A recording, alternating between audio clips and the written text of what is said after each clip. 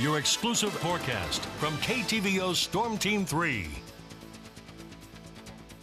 Good Saturday night to you, Heartland. It is cloudy in Kirksville with 57 degrees. Winds are coming from the south at 6 miles per hour. Dew point is at 53 with a humidity at 87%. So a lot of moisture in our atmosphere, folks. Same thing as well in Ottumwa, cloudy with 53 degrees. Winds are coming from the south at 6 miles per hour. Dew point is at 50 with a humidity at 89%. It was a dreary day across our area as we talked about at the beginning of the show. All we had today was just cloud cover and some very light drizzle that came through our area. Here at the station, we got a trace of rain here in the station and all across the area, just nothing much, just cloudy, dreary conditions. And we could see some low level cloud fog over the overnight hours tonight. So we are going to be seeing mostly cloudy skies with some drizzle and fog, and but temperatures are going to be very mild with the low of 46 degrees with south winds 5 to 10 miles per hour.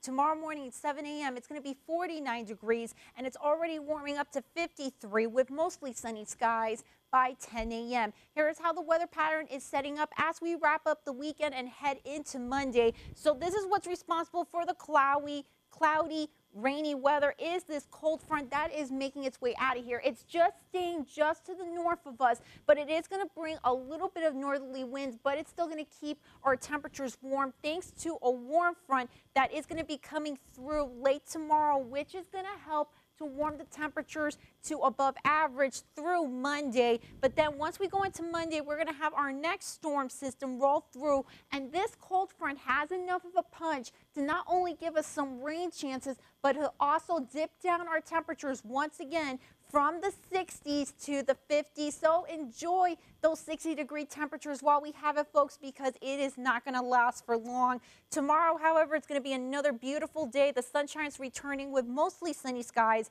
It's warming up as temperatures are going up to 63 degrees with west northwest winds 5 to 10 miles per hour. For events across the area tomorrow, it's looking great, such as the Holiday House event that they're having at the Kirksville Arts Center, as lots of people are going to be showing off their handcrafted trees, wreaths, and Christmas items. It's going to be from 1 to 5 p.m. At the time of the event, it's going to be mostly sunny with temperatures in the low 60s. And as we head into tomorrow at night, it's going to be a good night mild wise. It's going to be 50 degrees and it's going to have some drizzle as our next storm system is going to start approaching us with south southeast winds 5 to 15 with gusts up to 20 miles per hour. Once we head into Monday, folks, look how warm it's going to get 68 degrees. But once that system moves out of here on Tuesday, temperatures are going slightly back down to the mid 50s on Tuesday, 55 degrees. 50 degrees for your high on Wednesday, then warming up once again to 56 degrees on Thursday before another chance of showers and thunderstorms rolls in just in time for Friday and next weekend. And don't forget, you can always get your weather 24 7 at heartlandconnection.com. So, Greg, the roller coaster ride of temperatures continue. And it's going to continue for some time, it looks like. Yep, it's like 60s, 50s, 60s, 50s. you could do that all night. I can go on. all right, thanks so much, Vanessa. And folks, coming up in